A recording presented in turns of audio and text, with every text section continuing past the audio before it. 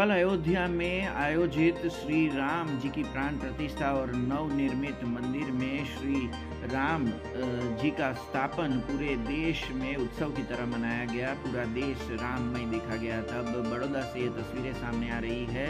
बड़ौदा के अकोटा विस्तार में साकेत फ्लैट के जो छह टावर हैं, उनके स्थानिक निवासियों की ओर से एक दिवाली जैसा माहौल वहाँ पर किया गया और आतशबाजी समेत नृत्य के ज़रिए राम उत्सव मनाया गया। 500 साल के इंतज़ार के बाद भगवान श्री राम का,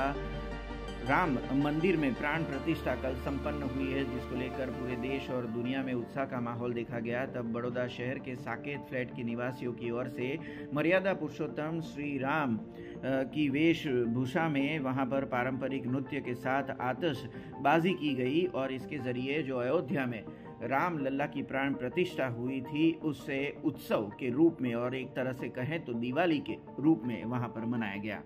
500 વર્ષ પછી અયોધ્યામાં રામનું મંદિર આજે સાકાર થઈ ચૂક્યું છે અને એમના મંદિરના પ્રાણ પ્રતિષ્ઠાનો આજે શુભ અવસર છે જ્યારે